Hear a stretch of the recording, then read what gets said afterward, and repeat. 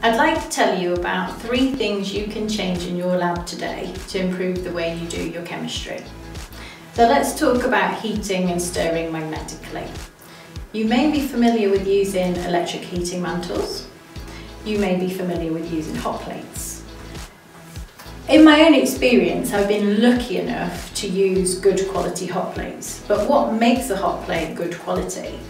And how do you know it's the best one for the job? So let's talk about power. So this here is a Radley's Tech hot plate and this will heat with 800 watts of power. So in real terms what that means for you compared to lower wattage hot plates you might be used to using is it will heat with 35% reduction in heat up time.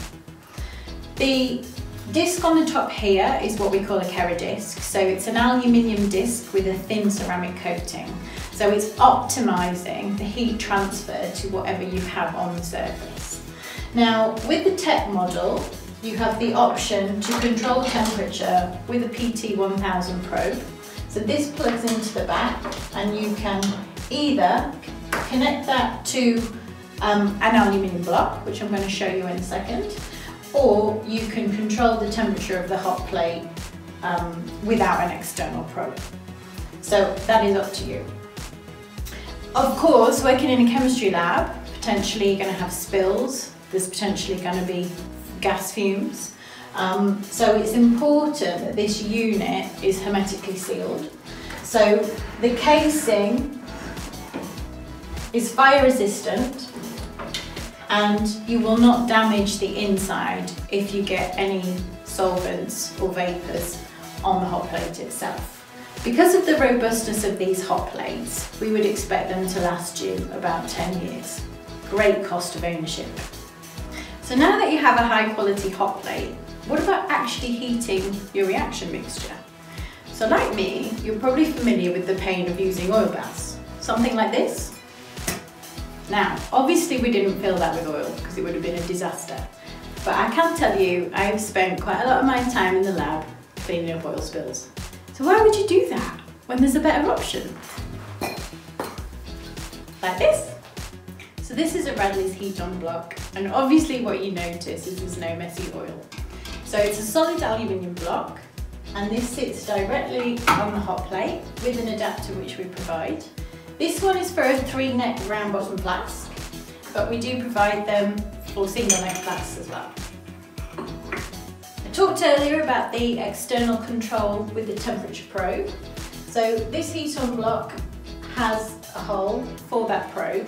So what you'll notice on the hot plate is it's registering the external connection. So what the hot plate is doing is feeding back the temperature from the probe and I'm heating to the temperature of the block. Monoblocks like this one are available from 250ml all the way up to 5 litre if you're working at a smaller volume, you can use the multi-well holder with inserts for smaller flasks, such as this one, which is a 100ml size. Also available with inserts for vials.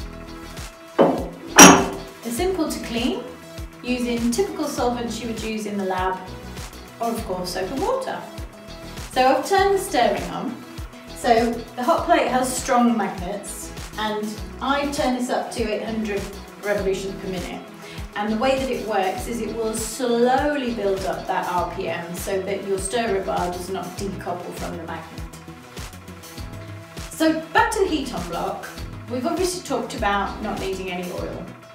The coating here is a fluoropolymer. Of course, you're working in chemistry lab, it needs to be chemical resistant. So we've made sure that it is. So we're heating and we're stirring, but what if you want to heat to reflux? You get one of these, right? Water condenser. But what if this is not connected properly? What if your tubing is not secure? What if the water pressure increases when everybody else turns their experiments off? Could end up like this.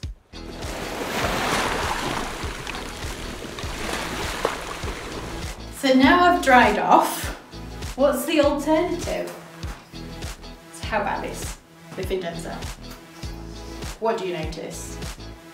No inlet or outlet for any flowing water. So how does it actually work? So this is an air-cooled Findenser. Internally, there's a Vigreux column. We make this on site in our workshop across the road. Inside, there are indents into the column, so we're increasing the surface area internally. We then encase that glass with a finned aluminium jacket. And in between the jacket and the glass is a small amount of sealed water to act as a heat transfer fluid. So it's easy to attach. Simply goes on the same way a water condenser would. We have two sizes. This is a mini. So if your working volume is half of the 250ml round bottom flask or below, we recommend the mini. If you're working up to one litre of solvent, we would recommend the standard. And these are available in a range of joint sizes to fit your needs. So there you go, three smart tools that you can change out in your lab today to improve the way you do your chemistry. To find out more information, please visit radleys.com. And if you are in the UK, go to our e-shop to purchase.